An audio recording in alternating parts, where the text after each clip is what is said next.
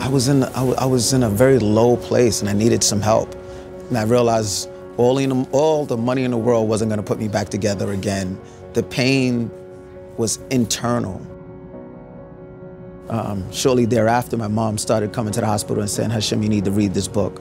And I didn't want to do it. And the book was the Bible. And as I began to read the Bible and I became, I ran across all of these phenomenal stories. And I said, well, God helped those people. Maybe God can help me. And then I came across the Gospels and I learned about Christ and I learned about this. Um, you know, when someone harms you, you have to turn the other cheek. And, you know, the disciples asked him, well, what should you do when someone, you know, hurts you? And he said, you should forgive. And the disciples must have been like you and I. And they said, well, how many times should we forgive Christ? And he said, well, 70 times seven. And as a 15 year old, I was doing the math. I was like, that's just a lot of forgiveness.